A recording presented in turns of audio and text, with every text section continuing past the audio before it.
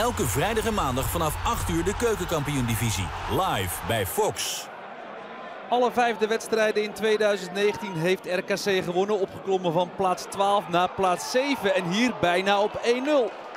Stijn Spierings kegelt tegen de paal. Dan dit moment. Reserveur à la Nigel de Jong. Misschien niet bewust, maar natuurlijk wel goed voor rood. Alleen Ingmar Oostrong geeft hem niet.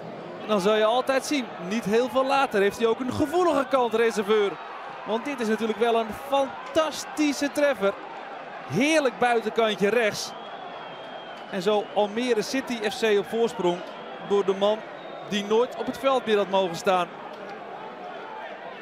Almere City won de laatste twee wedstrijden. Heeft maar vier punten minder dan RKC. Staat wel zes plaatsen lager. En RKC heeft de pechduivel aan hun zijde vanavond. Voor de tweede keer het aluminium geraakt. Nu kwasten op de lat. En in de tweede helft raken ze nog een keer de paal. Zij het wat lichtjes. Seis. Dat zit absoluut niet mee voor Grim en de zijne. Ook bij dit moment niet.